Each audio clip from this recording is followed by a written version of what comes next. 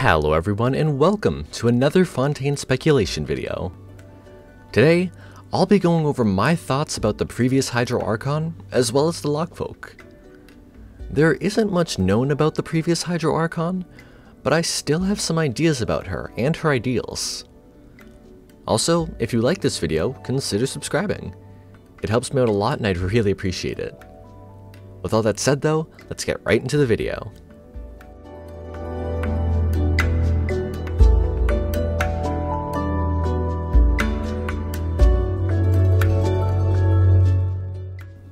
To start off, I'd like to talk about the Lochfolk.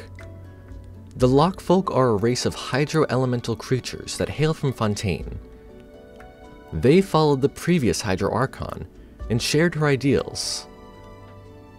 The previous Archon sent them out around Teyvat as spies, not for malicious intent, but rather to connect everyone like how water is connected. After the death of the previous Hydro Archon, most of the Lochfolk left Fontaine. This was because of the new Hydro Archon, Focalors, the god of justice. Focalors' ideals differed from those of the previous Archon, and the Lochfolk did not agree with these ideals, which is why many of them left. The Lochfolk are now scattered around Teyvat, and we've heard of and met quite a few of them. Of course, the most well-known of the Lochfolk is the Oceanid of Qingze, Rhodeia. Rhodeia resides just east of Qingze village in Liyue, and according to Endora, is the greatest and strongest of the Lochfolk scouts. Speaking of Endora, she is also one of the Lochfolk. We met her during the Wishful Drops event, all the way back in version 1.4. This event gave us a lot of lore about the Lochfolk, a lot of which I already mentioned. Those who played during the event were also given a gadget that allows Endora to join you in the open world.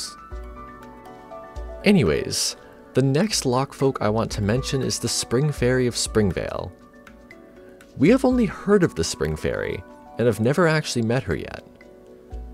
She only talks to children, mainly due to the difference between human and Lochfolk lifespans.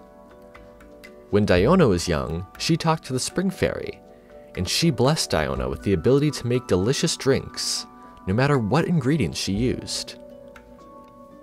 Anyways, the latest Lochfolk that we've met was all the way back in version 1.6, in the Legend of the Vagabond Sword event. This Lochfolk was known as Urania, or the Hateful Oceanid. Not much is known about this specific Oceanid, as she only appeared a handful of times as a boss in the event's domain. Now, the last thing I want to mention about the Lochfolk is their ability to manipulate the quality of water. Both Rhodeia and Urania have been described as making water bitter, while the Spring Fairy and Endora have been described as making it sweet.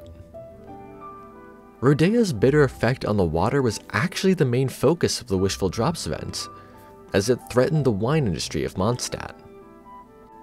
This ability may originate from the previous Hydro Archon, and if that's the case, Focalors may have this power as well. I'll get more into what this ability could reflect later on in the video though. For now, I'd like to discuss other pairs of new and old Archons, and the patterns that have been seen so far. Throughout our journey in Teyvat, we have been to two nations where the current Archon is not the same Archon who came out victorious during the Archon War 2000 years ago. Those would of course be Raiden Ei replacing Raiden Makoto in Inazuma, and Nahida replacing Rukkhadevata in Sumeru. In both of these cases, the new and old Archons shared a good amount of similarities. Starting with Ei and Makoto, they were twin sisters, with Makoto being the older one, they looked very similar, with the main differences being their fashion styles. They were also both gods of eternity. For Rukkhadevata and Nahida, they once again looked incredibly similar. They were both linked to Irminsul, and it was confirmed Nahida was born from the purest branch of the tree, so this similarity makes sense as well. Just like Ei and Makoto, both Rukkhadevata and Nahida were gods of wisdom. So far, each new Archon has had some sort of relation with their predecessor. Ei was Makoto's sister, and Nahida was created by Rukkhadevata. Additionally, the main ideal has remained the same for each respective nation. If this pattern continues in Fontaine, that would mean the previous Hydro Archon would also have been the god of justice. However, that may not be the case. Going back to the Lochfolk discussion, they left Fontaine because they disagreed with the ideals of the new Hydro Archon. So, the previous Archon may not have been a god of justice, or if she was, her idea of justice would have been much different to Focalors. For now, let's say that the previous Hydro Archon had a different ideal. So what would that ideal be then?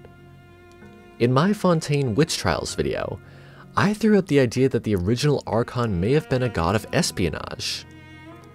Like I said earlier, the Lochfolk were sent out around Teyvat as spies for the original Archon. While we are told that her reasoning was just to connect everyone the way water is connected, there could be more to it. She could have sent the Lochfolk out in order to gather information about other nations, or perhaps even to monitor the other Archons for her own benefits. This could also still fit if she was a god of justice, as the information gathered from her spies would help her in her pursuit of justice.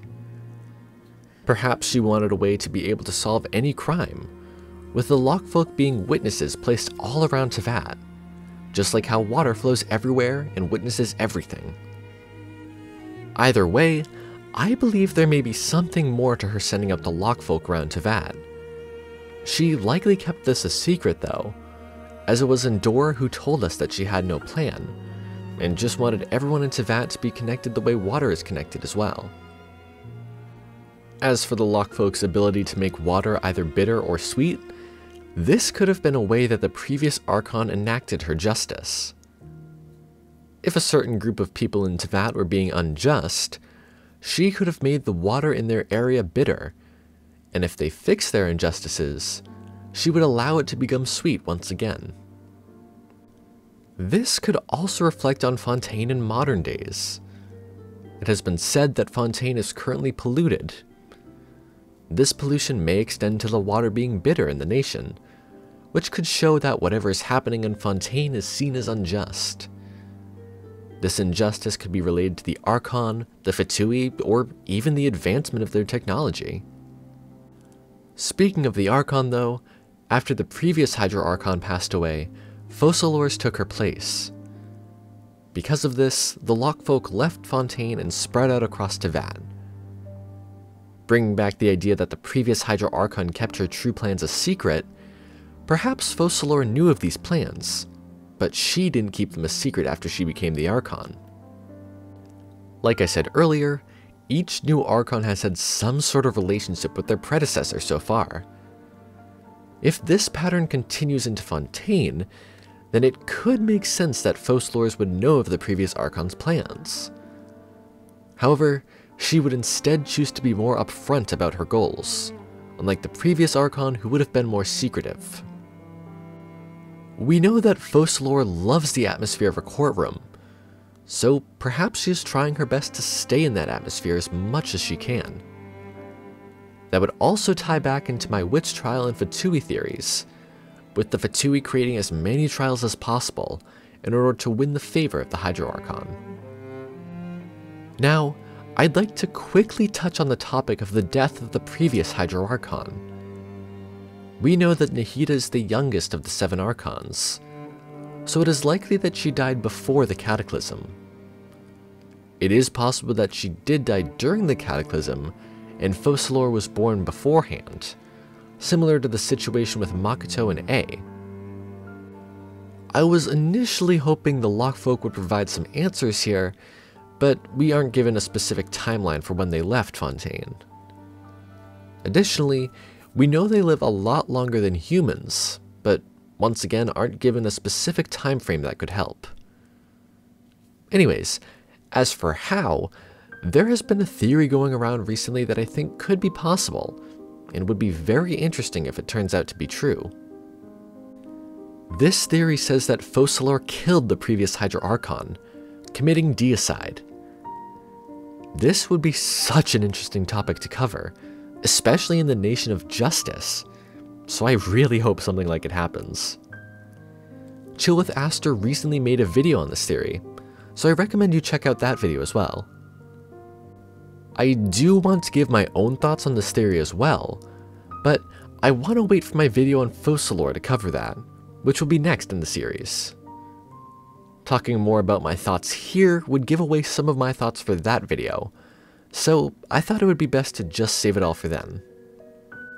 The more I talk about Fontaine, the more excited I get for its release. As of this video's release, if we go from 3.8 to 4.0, we're just over 4 months away from being able to visit Fontaine and finally getting some answers. There's still a lot I want to talk about though, so stay tuned. I'd love to hear what parts of Fontaine you're interested in and what questions you have about it in the comments below as well. Anyways, that's it for this video. Thank you so much for watching. Sources and further readings are also in the description if you want to check them out. I hope you all have an amazing day, and I'll see you all in the next video.